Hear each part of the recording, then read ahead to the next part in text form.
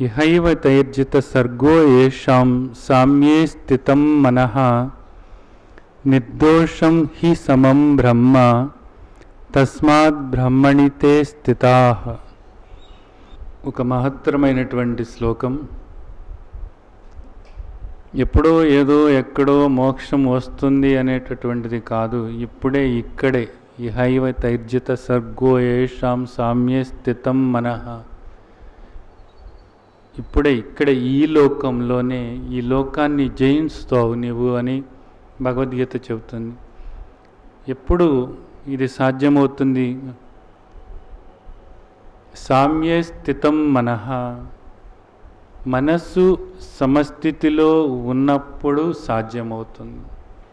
ఐదవ అధ్యాయంలో కర్మ సన్యాస యోగంలో పంతొమ్మిదవ శ్లోకం మహత్తరమైనటువంటి శ్లోకం నిర్దోషం హి సమం బ్రహ్మ. ఏ దోషము లేనటువంటిది ఏ దోషము లేనటువంటి ఆత్మ సమం ఎప్పుడూ కూడా ఏ మార్పుకు కూడా గురి కానటువంటిది. కాబట్టి మనస్సు ఆ సమస్థితిని పొందినట్లయితే బాగా అర్థం చేసుకోండి. పరమాత్మ ఏ దోషము లేని పరమాత్మ ఏ దోషము లేనటువంటి నిర్మలమైన నిరంజనమైనటువంటి పరమాత్మ ఎప్పుడూ కూడా సమమే ఎప్పుడూ కూడా మార్పు లేనటువంటిదే పరమాత్మ ఎప్పుడూ మార్పు లేనటువంటిదే పరమాత్మ. అలాగే నీ మనస్సు కూడా ఇప్పుడే ఇక్కడే ఈ లోకంలోనే ఏ మార్పు చెందనటువంటి స్థితికి నీ మనస్సు చేరినట్లయితే నీవు ఈ లోకాన్ని జయించగలవు. ఈ మాయను ఇదంతా కూడా మాయే. ఈ మాయను నీవు జయించగలవు. జయించటమే కాదు తస్మాత్ బ్రాహ్మణితే స్థిత. సాక్షాత్ ఆ పరమానంద స్థితిలో ఆ స్థితిగా ఉంటావు అన్నది ఇక్కడ చెబుతున్నటువంటి విషయం. బ్రాహ్మణి స్థిత సచిదానంద ఘన పరమాత్మ స్థితి ఏదైతే ఉందో ఆ స్థితిగానే ఉంటావు. చాలా సరళంగా ఉంది విషయం అయితే ఇంకేం లేదు. మనస్సు సమంగా ఉంచుకుంటే నువ్వు పరమాత్మ స్థితిలోనే ఉంటావు అని. ఎందుకని? మనస్సు సమంగా ఉంచుకుంటే నువ్వు పరమాత్మ స్థితిగానే ఉంటావు. ఎందుకని? పరమాత్మ ఎప్పుడు కూడా సమంగానే ఉంటే నీ మనస్సు కూడా సమమే చేసుకుంటే అది ఇది ఒకటే అవుతుంది. అది ఇది కూడా ఒకటే అవుతుంది అన్నది ఇక్కడ శాస్త్రం చెబుతున్నటువంటి విషయం. మరి నువ్వు సమంగా ఎందుకు ఉంచుకోవటం లేదు? సమంగా ఉంచుకుంటే నువ్వు పరమాత్మే అన్నప్పుడు ఎప్పుడు కూడా ఆ స్థితి అలాగా ఉండొచ్చు కదా ఆ స్థితిగా ఉండవచ్చు కదా. అయితే ఈ ఎగుడు దిగుడులకు నువ్వు గురి అవుతున్నావు. ప్రలోభానికి నువ్వు గురి అవుతున్నావు ద్వంద్వాలలో శీతోష్ణాలలో సుఖదుఖాలలో లాభ నష్టాలలో జయాపజయాలలో మానవ మానాలలో ఆ ఎగుడు దిగుడులకు నువ్వు గురి అవుతున్నావు అలాగే ఈర్ష్య అసూయ ద్వేషము కామము క్రోధము శత్రుత్వము వీటితో మనసును నింపుకొని నీ మనస్సును కలుషితం చేసుకుంటున్నావు. దోషరహితంగా ఉంచుకోవాల్సినటువంటి మనస్సును నిర్దోషం హీ సమం బ్రహ్మ. దోషం ఉండకూడదు. ఎగుడు దిగుళ్ళు ఉండకూడదు. సమంగా సమస్థితిలో ఉండాలి. మార్పుకు గురి కాకూడదు. ఒకటి. రెండు. నిర్దోషం. ఏం దోషాలతో ఉంటుంది నీ మనస్సు ఇప్పుడు ఇక్కడ? ఈర్ష్య ద్వేషం అసూయ శత్రుత్వం కోపం పగ వీటన్నిటితోనూ కూడా నీ మనస్సు కలుషితమైపోయి ఉంటుంది. దోషాలతో కూడి ఉంటుంది. ఎదుటి వాళ్ళల్లో ఏమేమి చెడు ఉందో చూసేటటువంటి దానిలో నీ మనస్సు పూర్తిగా లగ్నమైపోయి ఉంటుంది. వాటిని గురించి ఆలోచించుకుంటూ ఆ చెడునే స్మరించుకుంటూ వాళ్ళలో తప్పులు ఎత్తుకుతూ ఆ తప్పుల్ని వేరే వాళ్ళతో మాట్లాడుతూ ఆ భావాలతో నీ మనసు పూర్తిగా కలుషితమైపోయి ఉంటుంది. దోషంతో కూడి ఉంది నీ మనస్సు మరి పరమాత్మ నిర్దోషం. ఏ దోషము లేనటువంటిది పరమాత్మ. ఆ అనుభవం నువ్వు పొందాలంటే ఇన్ని దోషాలతో నీ మనస్సు ఉన్నప్పుడు అది సాధ్యం కాదు. ఇన్ని దోషాలతో నీ మనస్సు ఉన్నప్పుడు సాధ్యం కాదు. పోనీ వీటిలో ఏదైనా నీకు ఉపయోగపడేదేనా అంటే ఏది కూడా ఉపయోగపడేటటువంటిది కానే కాదు. ఏది ఉపయోగపడేటటువంటిది కాదు. ఈర్ష్య కానీ ద్వేషం కానీ అసూయ కానీ శత్రుత్వం కానీ కోపం కానీ పగ కానీ కామం కానీ క్రోధం కానీ ఏది నీకు ఉపయోగపడేటటువంటిది కానే కాదు. అయినా సరే ఈ ప్రలోభానికి నువ్వు గురవుతున్నావు. అల్పమైనటువంటి అశాశ్వతమైనటువంటి కోరికలతో చిన్న చిన్న కోరికలు చిన్న చిన్న కోరికలు అన్నమాట ఆ కోరికలతోనే నువ్వు పూర్తిగా ఈ జనన మరణ చక్రంలో ఈ ఊబిలో పడిపోతున్నావు. ఈ ఊబి నుండి బయటపడాలి అంటే ఈ మోహానికి ఈ ప్రలోభానికి గురి కాకుండా నీ మనస్సు కలుషితం కాకుండా దోషరహితంగా నువ్వు అట్టి పెట్టుకున్నట్లయితే ఆ మనస్సు ఎప్పుడు కూడా నిర్మలమే. నిర్మలమైనటువంటి ఆ ఆత్మ భావనతోనే ఉండటం అన్నది జరుగుతుంది. అలాగే ఈ ఎగుడు దిగుళ్ళు అనేటటువంటి సంతోషం వచ్చినప్పుడు ఏదైనా నీకు మంచిది అనుకున్నది తెలిసినప్పుడు ఎగిరెగిరి పడుతున్నావు. అలాగే నీకు ఏదో సానుకూలంగా లేనటువంటి విషయం తెలిసినప్పుడు ఏం చేస్తున్నావు? కుంగిపోతున్నావు. ఇవన్నీ కూడా ఈ సుఖ దుఃఖాలను ఈ విధంగా నువ్వు అనుభవిస్తున్నావు. మానవ మానాలలో శీతోష్ణాలలో జయాపజయాలలో లాభ నష్టాలలో వీటన్నిటిలోనూ కూడా ఈ ఎగుడు దిగుడులతో ఎప్పుడు కూడా నీ పరిస్థితి ఎలా ఉంటుందంటే సమము మార్పు లేకుండా నేను ఉన్నాను ఏదొచ్చినా నేను మారకుండా ఇది వచ్చింది ఇది పోయింది ప్రతిదీ కూడా వచ్చేదే పోయేదే ప్రతిదీ కూడా మారేదే పోయేదే ప్రతిదీ కూడా వచ్చేదే పోయేదే ప్రతిదీ మారేదే పోయేదే. ఏది శాశ్వతమైంది కాదు. ప్రారంధవశాత్తు ఏది రావాలో ఎప్పుడు రావాలో అది వస్తుంది పోతుంది. ఈ దేహం ఏది అనుభవించాలో అది అనుభవిస్తుంది. నేను ఈ దేహం కాదు. నేను ఎప్పుడు కూడా ఏ మార్పు చెందనటువంటి శాశ్వతమైన ఆత్మస్వరూపాన్ని అనేటటువంటి దృష్టి ఏర్పరచుకోనట్లయితే నువ్వు ఈ జనన మరణ చక్రంలో పడి నలుగుతూనే ఉంటావు అంతే ఇక్కడే ఇప్పుడే ఇహైవ తర్జిత సర్గో ఏషాం సామ్యే స్థితం మనహ. ఇహైవ ఇక్కడే ఇప్పుడే మనసు సమస్థితిలోకి నువ్వు తెచ్చుకుంటే ఏ దోషము లేకుండా నువ్వు చేసుకుంటే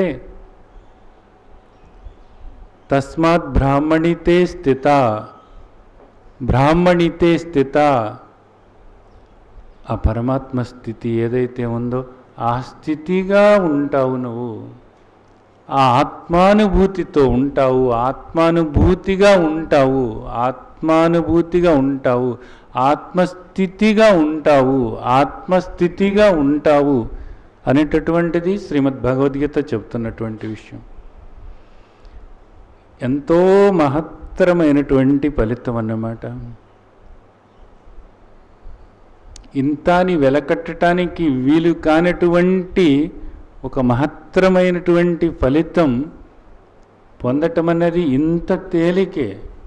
ఒక ప్రలోభానికి గురి కాకుండా ఉంటే మోహంలో పడకుండా ఉంటే కాస్త జాగ్రత్తగా మనస్సును అదుపు చేసుకుంటూ ఉంటే అలవాటు చేసుకుంటూ ఉంటే వినమ్మ తల్లి కాస్త వినమ్మ తల్లి జాగ్రత్త రమ్మ వద్దు మనకొద్దు ఈ ఈర్ష్య అసూయ ద్వేషాలు మనకొద్దు. ఈ రాగద్వేషాలు మనకు వద్దు ఈ కోపము శత్రుత్వము పగ ఇవన్నీ మనకొద్దు మనకొద్దు. ఇవన్నీ వచ్చిపోయేవే ఇవన్నీ కూడా మాయా. ఈ మాయలో నేను పడిపోయినట్లయితే ఆత్మానుభూతికి నేను దూరం అవుతాను దోషంతో నిండిపోతాను దోషంతో నిండిపోతాను. కష్మలం ఏర్పడిపోతుంది కలుషితమైపోతాను. ఈ కలుషితం కానియకూడదు నేను వీటికి దూరంగా ఉండాలి వీటికి దూరంగా ఉండాలి. అలాగే ఏది వచ్చినప్పటికీ కూడా చెక్కు చెదరకుండా సమస్థితితో ఉండాలి. రాని పోని ఏది వచ్చినా రాని పోని. నేను మాత్రం మారినటువంటి ఆత్మస్వరూపాన్ని అని నిరంతరము కూడా చెక్కు చెదరకుండా నువ్వు ఆ విధంగా ఉంటే ఇక్కడే ఇప్పుడే జీవన్ముక్త అవస్థ అంటే ఏమిటో నీకు అనుభవానికి వస్తుంది. పద్మపత్రం ఇవాంబస తామరాకు నీటిలో ఉన్నప్పటికీ కూడా దానికి ఏ తడి కూడా అంటదు. ఏ నీళ్ళు కూడా అంటకుండా తామరాకు ఎలా ఉందో కుమ్మరి పురుగు బురదలో ఉన్నప్పటికీ కూడా ఏ బురద అంటించుకోకుండా కుమ్మరి పురుగు ఏ విధంగా ఆ బురదలో ఉందో అదేవిధంగా ఈ విషయాలన్నిట్లోనూ కూడా ఈ ద్వంద్వాలన్నిట్లోనూ కూడా నువ్వు ఉన్నప్పటికీ కూడా ఏ అంటూ లేకుండా నిర్దోషం హి సమం బ్రహ్మ.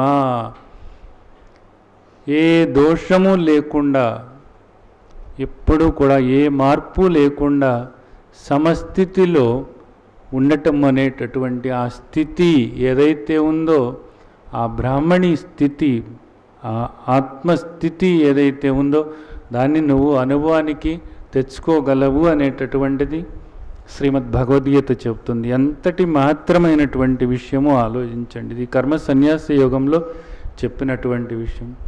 దీన్ని ఈ విధంగా మనం ఆచరణలోకి తీసుకోవటానికి బాగా మనకు ఉపయోగపడేటటువంటి శ్లోకం శ్రీమద్ భగవద్గీత పదిహేడవ అధ్యాయంలోని మానసిక తపస్సు దీనికి మనకి ఎంతో ఉపయోగపడుతుంది.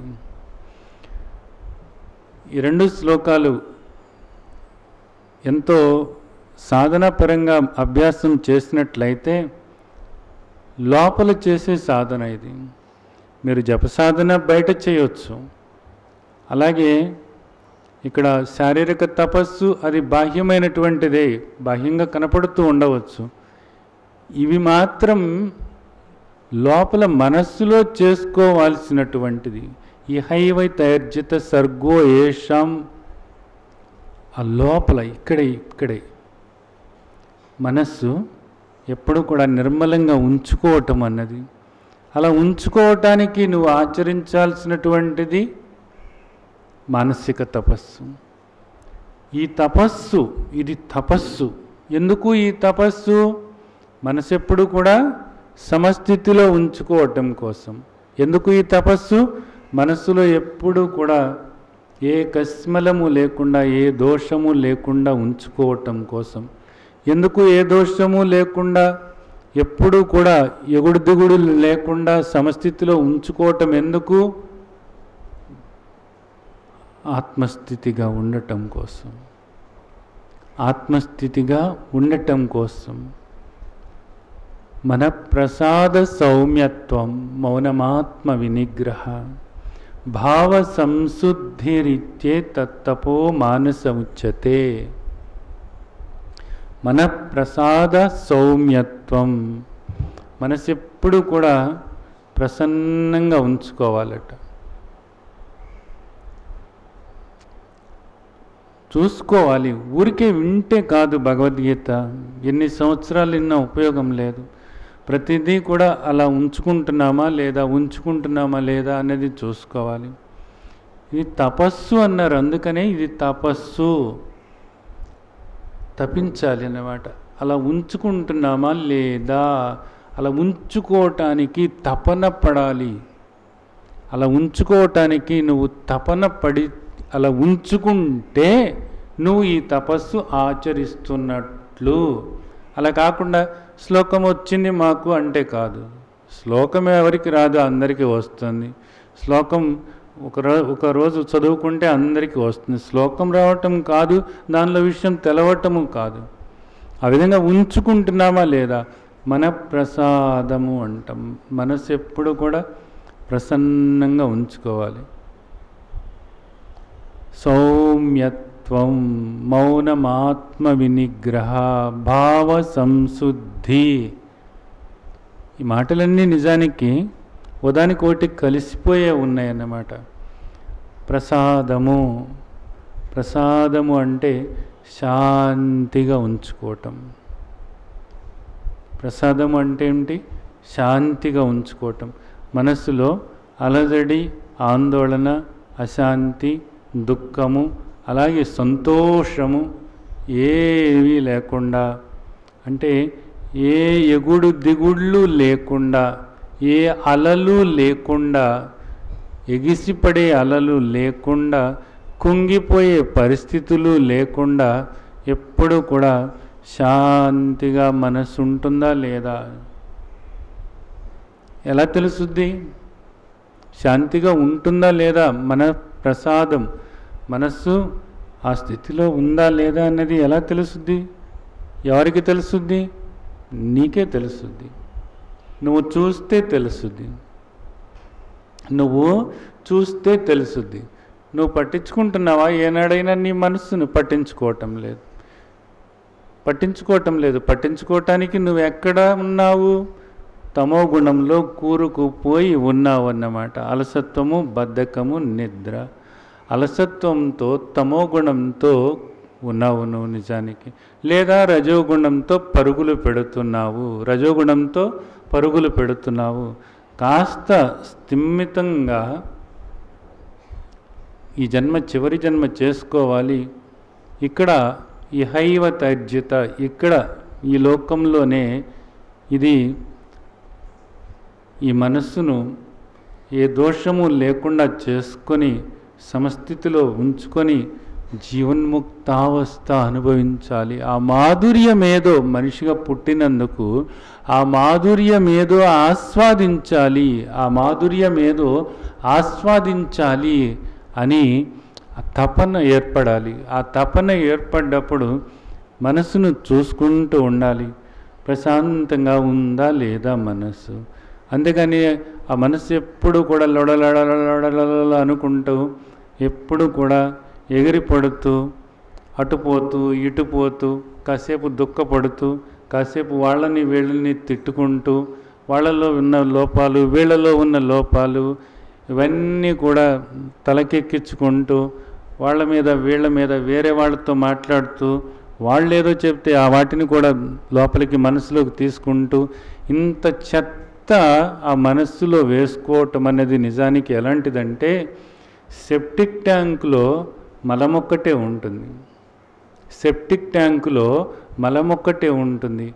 అంతకన్నా దారుణమైనటువంటి మాలిన్యాన్ని నీ మనస్సులో నువ్వు నింపుకుంటున్నావు. అంతకన్నా దారుణమైనటువంటి మాలిన్యం అన్నమాట అది.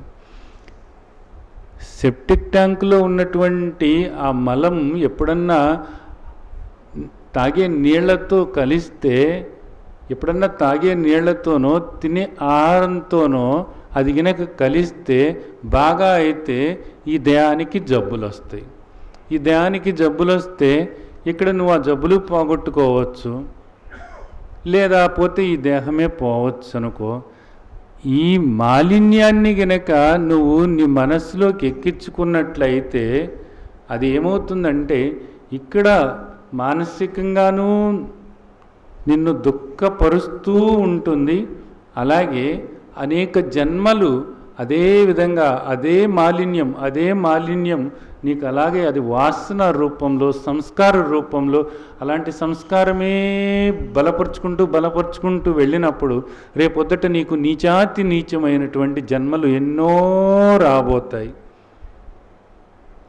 ఎంతటి ప్రమాదమో ఆలోచించండి.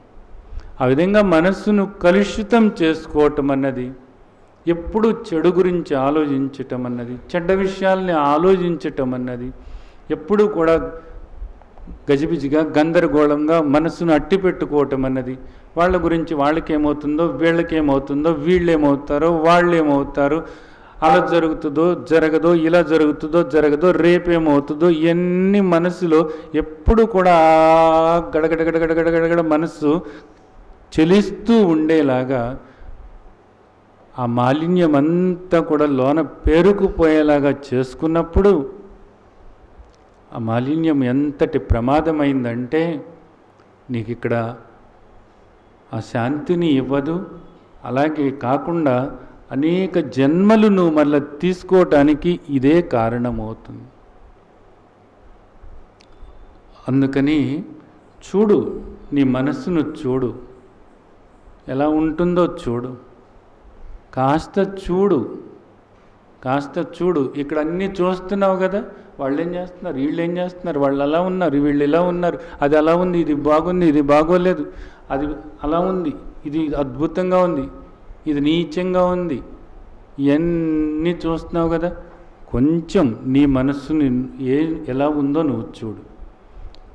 అది నీచమైన ఆలోచనలు చేస్తుందా? ఉన్నతమైన ఆలోచనలు చేస్తుందా? అది బాగుందా? బాగోని పరిస్థితులతో పరిస్థితుల్లో కూరుకుపోయి బాగోని చెడ్డ సంస్కారాలను ఏర్పరచుకుంటుందా? మంచి సంస్కారాలను ఏర్పరచుకుంటుందా? మనస్సు ఎలా ఉంది? మనసు అంటే ఏమిటి? ఆలోచనలే. నీ ఆలోచనలు ఎలా ఉన్నాయి ఇప్పుడు? ఆలోచనలు ఎవరి మీదకు పోతున్నాయి? మనస్సు నిజానికి ఎవరి మీదకి పోవాలి? ఎవరిని చింతన చేయాలి? ఎవరిని ధ్యానించాలి? ఎవరిని పట్టుకుని ఉండాలి? ఆత్మస్వరూపాన్ని పట్టుకుని ఉండాలి. మన్మనాభవ మద్భక్త మధ్యాజీమాం నమస్కురు. తస్మాత్ సర్వేషు కాలేషు మామానుస్మర. అలాంటి మనసు నిరంతరము కూడా ఆత్మస్వరూపాన్ని ధ్యానించాల్సినటువంటి మనసు ఇప్పుడు పోయి ఎదట వాళ్ళల్లో అవలక్షణాలను గురించి జానిస్తుంది. ఎదట వాళ్ళ యొక్క తప్పులను గురించి జానిస్తుంది. రేపేదో జరుగుతుంది అనేటటువంటి ఆందోళనతో మనసు లేనిపోయిన విషయాలను జానిస్తుంది. అలాగే జరిగిపోయినటువంటి పాత విషయాల్ని తవ్వుకొని వాళ్ళు ఏం చేస్తున్నారు? వీళ్ళు ఇలా చేశారు అప్పుడు అలా జరిగింది. అవన్నీ కూడా గుర్తు చేసుకొని ఆ బాధకు గురయ్యేటటువంటి ఆలోచనల్లో కూరుకుపోయి ఉంది మనస్సు. ఏం చేయాల్సినటువంటి మనస్సు ఏం చేస్తుంది? ఎందుకు ఈ అదుపు ఎందుకు తప్పుతుంది? నువ్వు చూడకపోవటం వల్లనే. నువ్వు చూడకపోవటం వల్లనే ఈ మనస్సు అదుపు తప్పింది. అదుపు తప్పి నిర్మలంగా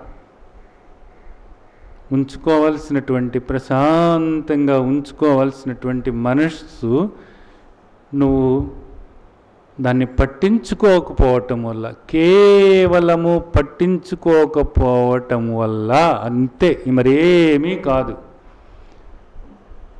ఎవరినైనా పట్టించుకోలేదనుకోండి ఏమవుతారు వాళ్ళు? విచ్చలవిడిగా తయారవుతారు. పట్టించుకున్న వాళ్ళు ఎలా ఉంటారు? సంస్కారవంతులుగా ఉంటారు.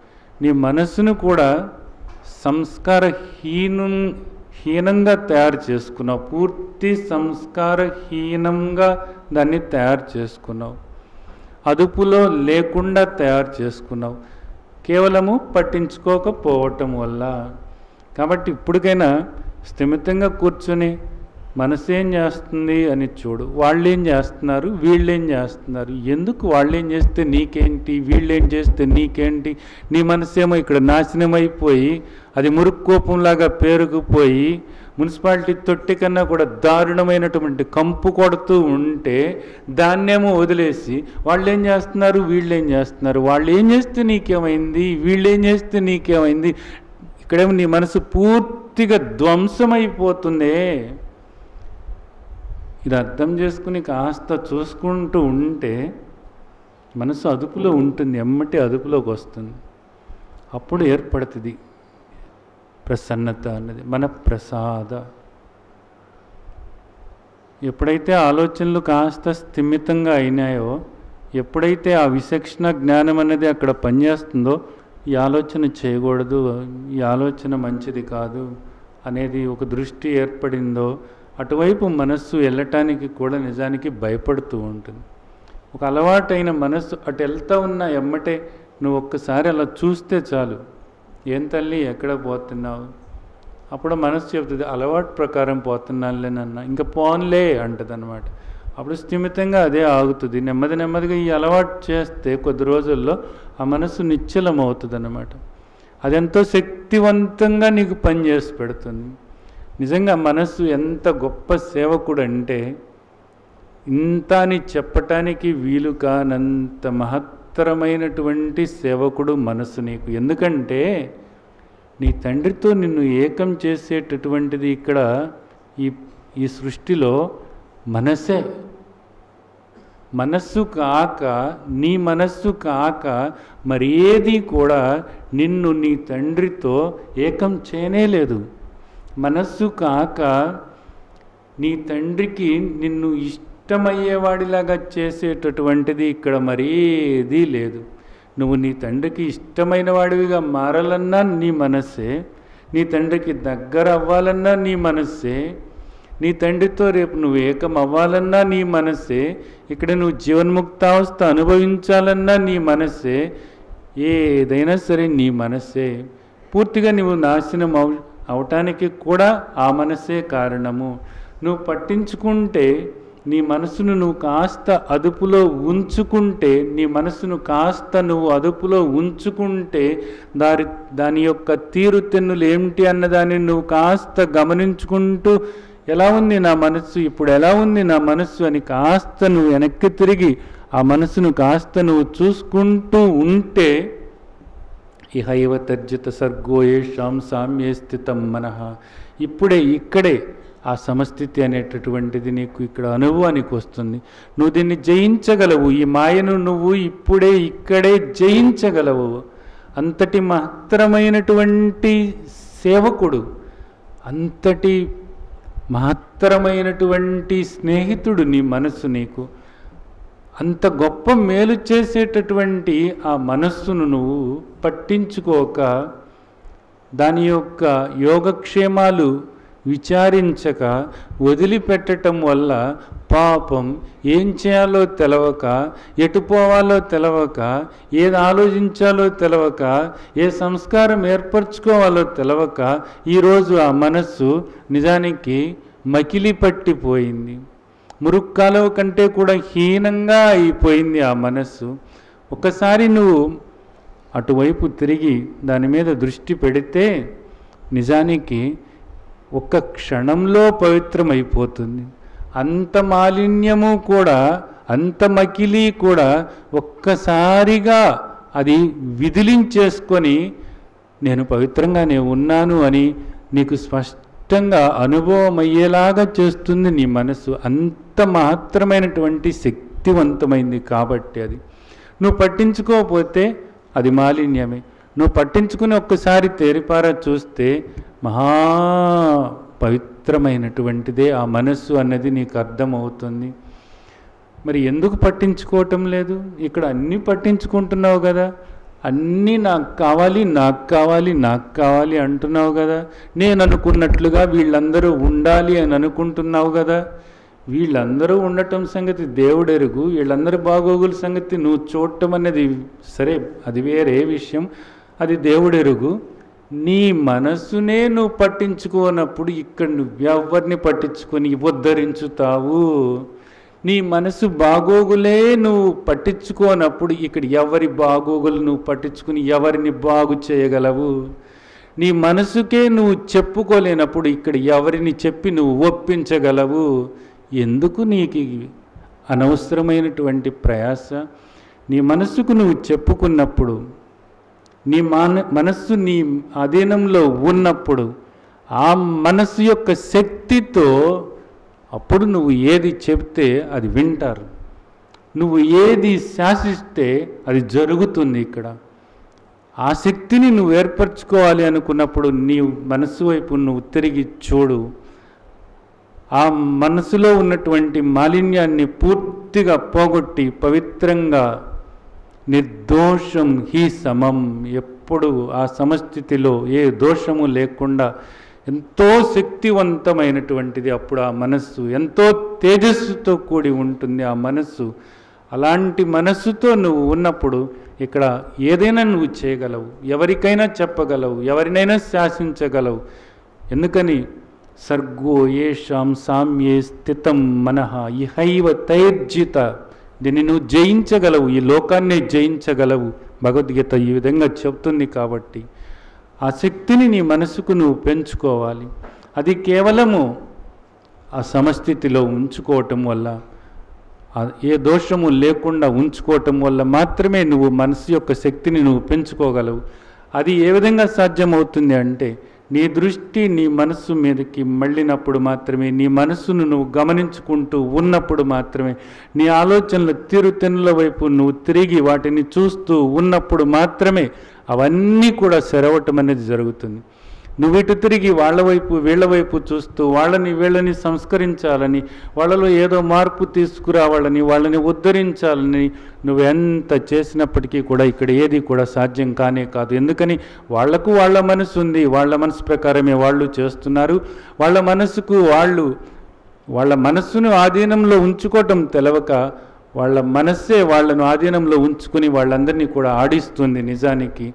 గుర్రం మీద ఎక్కి స్వారీ చేయాల్సినటువంటి వ్యక్తి నిజానికి గుర్రం తోక పుచ్చుకొని గుర్రం వెనకాల పరిగెడుతున్నట్లుగా పరిగెడుతున్నారు. మనస్సును ఆధీనంలో ఉంచుకొని దానిపై స్వారీ చేయాల్సినటువంటి నీవు ఈ విధంగా దానికి పూర్తిగా వశమైపోయి అది ఎటువైపు వెళుతుంటే అటువైపు నువ్వు నిన్ను నీవు మరిచిపోయి నీ ఉనికినే నీవు పూర్తిగా మరిచిపోయి దాని ఆధీనంలో పడిపోయావు అన్నదాన్ని అర్థం చేసుకుని అటువైపు నువ్వు తిరిగి గమనిస్తూ ఉన్నట్లయితే మన ప్రసాద సౌమ్యత్వం. అప్పుడు ఆ మనస్సు సౌమ్యంగా తయారవుతుంది. శాంతిగా తయారవుతుంది. అప్పుడు నీకు అనుభవం అవుతుంది ఏది? మౌనం. మౌనం అంటే ఏమిటో అప్పుడు నీకు తెలుస్తుంది. మాట్లాడకుండా ఉండటం కాదు మౌనం అంటే. మాట్లాడకుండా ఉండటం కాదు లోపల ఒక అంతర్మౌనం. మనస్సు నిర్మలమైనప్పుడు మనస్సు నిశ్చలమైనప్పుడు ఏ ఎగుడు దిగుడులు లేకుండా సమస్థితికి వచ్చినప్పుడు మనసులో ఉన్నటువంటి మాలిన్యమంతా పోయి నిర్దోషం ఏ దోషము లేకుండా ఉన్నప్పుడు ఒక నిశ్చలమైనటువంటి స్థితి అది మౌనం అంటే అప్పుడు నీకు అది అనుభవానికి వస్తుంది అది. అప్పుడు నీకు అది అనుభవానికి వస్తుంది. మన ప్రసాద సౌమ్యత్వం మౌనం ఇదంతా దేనివల్ల కుదురుతుంది? ఆత్మ వినిగ్రహ ఎటో పోతున్నటువంటి మనస్సును నువ్వు నిగ్రహించుకుని నీ ఆధీనంలో ఉంచుకున్నప్పుడు ఇంద్రియాలు ఇంద్రియ విషయాలతో ప్రవర్తిస్తున్నప్పుడు ప్రతి ఇంద్రియము కూడా ఆయా విషయాలు శబ్ద స్పర్శ రూప రస గంధాలతో ప్రవర్తిస్తూ ఉన్నప్పుడు మనస్సు వాటి దగ్గరకు పరిగెడుతూ వాటిలో కూరుకుపోతూ ఉన్నప్పుడు నువ్వు పట్టించుకోనప్పుడు అది తీవ్రంగా ఆ విషయాల్లో ఆ విషయ చింతనలో మనస్సు కూరుకుపోయి పూర్తిగా కామంతో క్రోధంతో పూర్తిగా తన స్వరూపాన్ని మరిచిపోయేటటువంటి స్థితిలో మోహంలో కూరుకుపోయి సర్వనాశనమయ్యేటటువంటి పరిస్థితి ఏర్పడుతుంది కాబట్టి నువ్వు కాస్త పట్టించుకొని నువ్వు నువ్వుగా నిలబడితే మనసు వంక చూస్తే ఇంద్రియ విషయాల వైపు పరిగెడుతున్నటువంటి మనస్సు నీ అదుపు ఆజ్ఞల్లోకి నువ్వు తెచ్చుకున్నట్లయితే ఆత్మ వినిగ్రహ. తెచ్చుకున్నట్లయితే అలజడి ఆందోళన అశాంతి తగ్గుతుంది మనస్సులో. ఆ గడబిడ తగ్గిపోతుంది మనస్సులో. రకరకాలైనటువంటి దుస్సంస్కారాలు ఏవైతే ఉన్నాయో అవన్నీ కూడా తుడిచిపెట్టుకుపోయి మనో మాలిన్యమంతా కూడా పోయి నిశ్చలమైనటువంటి నిర్మలమైనటువంటి స్థితి ఏర్పడుతుంది. నిశ్చలమైనటువంటి నిర్మలమైనటువంటి స్థితి ఏర్పడుతుంది అప్పుడు. ఆత్మ వినిగ్రహ. భావ సంశుద్ధి రీత్యే నీ భావాలు ఏ విధంగా ఉన్నాయి? శుద్ధంగా అట్టి పెట్టుకోవాలి. ఎప్పుడు కూడా భావాలను శుద్ధంగా అట్టి పెట్టుకోవాలి. విషయాలను వదిలిపెట్టేసేసి ఆత్మచింతనతో మనస్సును నింపుకున్నట్లయితే అనంతమైనటువంటి ఆత్మభావన చేసుకుంటూ ఉన్నట్లయితే నిరంతరము మనస్సు ప్రశాంతంగా ఉంటుంది నిర్మలంగా ఉంటుంది మౌనంగా ఉంటుంది. భావాలు కలుషితం కాకుండా ఉంటాయి. ఎప్పుడు కూడా సమస్థితిలో ఉండటానికి సాధ్యమవుతుంది. అలా కాకుండా భావాలను ఎప్పుడు కూడా కలుషితం కాకుండా చూసుకోవాలి. అలా కాకుండా రకరకాలైనటువంటి కలుషితమైన ఆలోచనలు చేస్తున్నప్పుడు అవన్నీ కూడా మానసిక కర్మ అవుతుంది. ఆలోచనలు ప్రతికూలమైనటువంటి ఆలోచనలు అలాగే వేరే వాళ్ళ గురించి చెడుగా ఆలోచించటం లేనిపోయినటువంటి దోషాల గురించి చింతన చేయటం లేనిపోయినటువంటి విషయాల గురించి పదే పదే ఆలోచించటం ఎదుటి వాళ్ళలో ఉన్నటువంటి తప్పులను గురించి చింతించటము ఎదుటి వాళ్ళు చేసేటటువంటి అవకతవకల గురించి ఆలోచిస్తూ ఉండటం ఎదుటి వాళ్ళ గురించి చెడుగా ఆలోచించటం అలాగే తమ గురించి తాము కూడా విరుద్ధంగా ఆలోచించటం ప్రతికూలమైనటువంటి భావాలను చేయటం ఎప్పుడు ఆందోళనకు భయానికి లోనవుతూ ఉండటం ఎప్పుడు అలసట అశాంతి దుఃఖము వాటికి సంబంధమైనటువంటి విషయాలను గురించి ఆలోచిస్తూ ఉండటం ఈ విధంగా చేయటం అనేది ఇదంతా కూడా మానసిక కర్మ అవుతుంది. ఈ కర్మ దుష్కర్మ అవుతుంది. ఈ దుష్కర్మ యొక్క ఫలితాలను రేపొద్దట నీ జీవితంలో నువ్వు ఆలో అనుభవించాల్సి వస్తుంది. ఎవరి మనసు కలుషితమై ఉంటుందో ఎవరి మనస్సు ఆందోళనతో అశాంతితో ఉంటుందో వాళ్ళు దేహపరంగాను ఎప్పుడూ కూడా దుఃఖాన్ని అనుభవిస్తారు. అలాగే వాళ్ళ ముందున్నటువంటి పరిస్థితులు కూడా ఎప్పుడు దుఃఖాన్నే తీసుకొస్తూ ఉంటాయి. వాళ్ళ ముందున్నటువంటి మనుషులు కూడా వాళ్ళకు అశాంతినే కలిగిస్తూ ఉంటారు ఏదో విధంగాను. ఇది ఎందుకు ఈ విధంగా ఏర్పడుతుంది? వాళ్ళ దేహంలో కలిగినటువంటి ఈ ఇబ్బందులు కానీ అలాగే వాళ్ళ పరిస్థితులు ఎదురుగా ఉన్నటువంటి ఆ ఇబ్బందికరమైన పరిస్థితులు కానీ అలాగే ఎదురుగా ఉన్నటువంటి వ్యక్తులు కూడా ఎందుకు ఆ విధంగా ఈ విపరీత ప్రవర్తన ఎందుకు ఆ విధంగా వాళ్ళల్లో ఉంది అని చూసినట్లయితే దానికి కారణం ముఖ్యంగా నీ మనస్సులోనే ఉంది అనేది అర్థమవుతుంది. నీ మనసులో ఉన్నటువంటి నీ ఆలోచనలను నువ్వు సరిచేసుకున్నట్లయితే నీవు దేహపరంగాను సరైన రీతిలో నడవచ్చు. అలాగే నీవు చుట్టూతో ఉన్నటువంటి పరిస్థితులు మారుతాయి. అలాగే ఎదుట వ్యక్తులకు కూడా నీ గురించి సానుకూలమైనటువంటి భావాలు ఏర్పడతాయి. ఒక ఎదుట వ్యక్తిని నీవు ఎప్పుడూ కూడా చెడుగానే ఆలోచిస్తూ ఉన్నప్పుడు నీకెప్పుడు శత్రువుగానే ఆలోచిస్తూ ఉన్నప్పుడు అతని ఎప్పుడు కూడా దుర్మార్గుడు అని ఆలోచిస్తూ ఉన్నప్పుడు ఆ వ్యక్తిలో నీ పట్ల ఎప్పుడు కూడా మార్పు రాదు.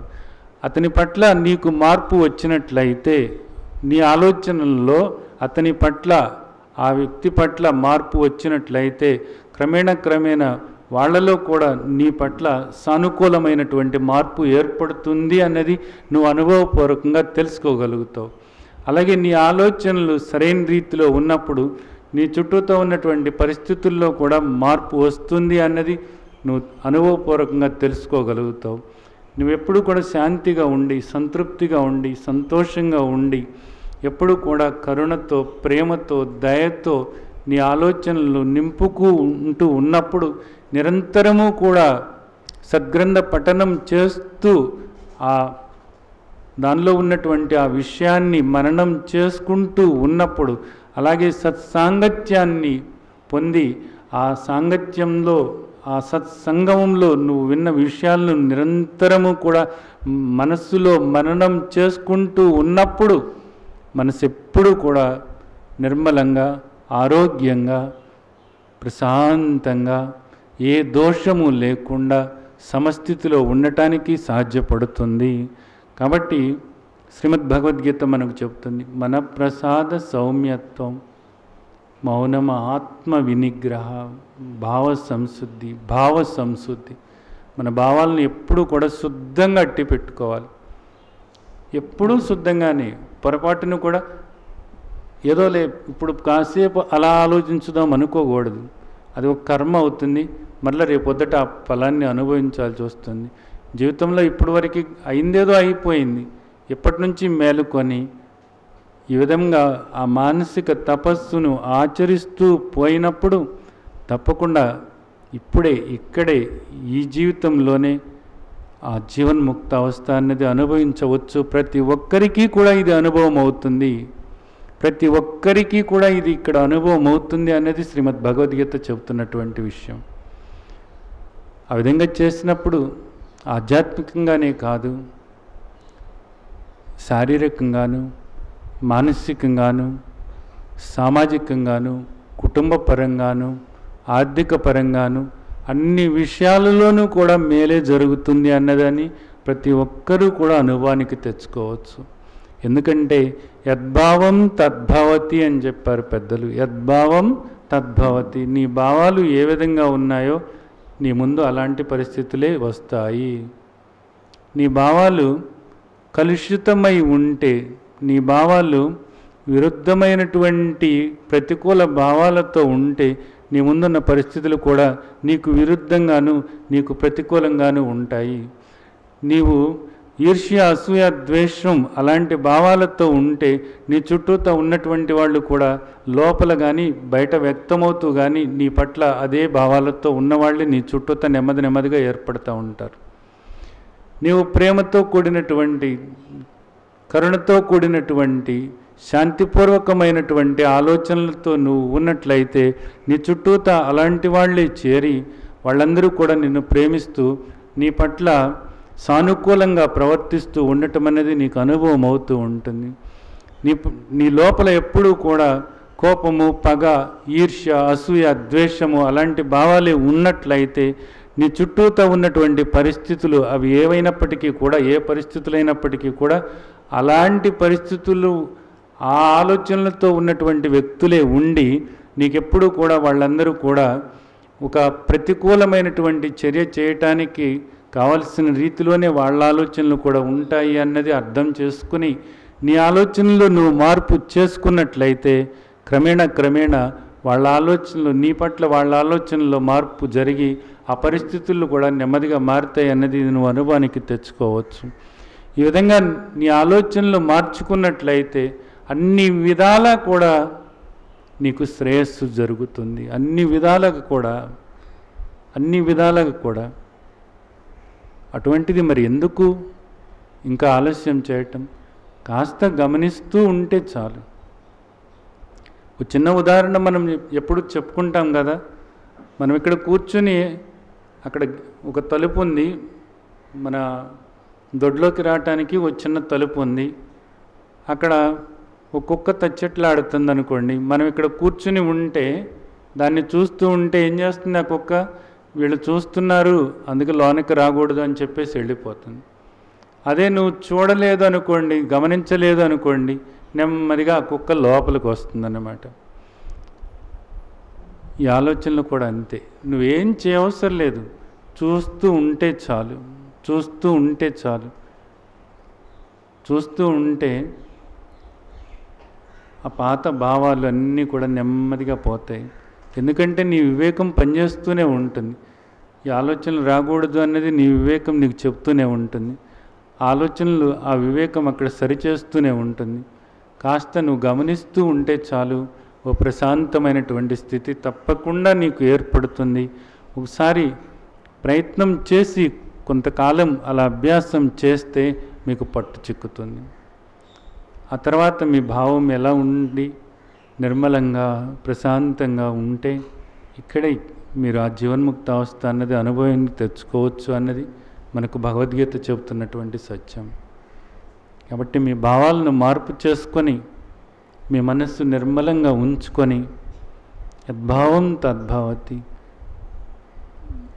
అలాంటి అనుభవమే ఆ సమస్థితి అనేటటువంటి ఆ ఆత్మానుభవం పొందుతూ మీ చుట్టూతో ఉన్నటువంటి పరిస్థితులు కూడా అన్నీ కూడా సానుకూలంగా ఉండేలాగా మీరందరూ కూడా మలుసుకోవాలని ఆశిస్తూ ఆ విధంగా ఆశీర్వదిస్తున్నాను. జై సచ్చిదానంద్.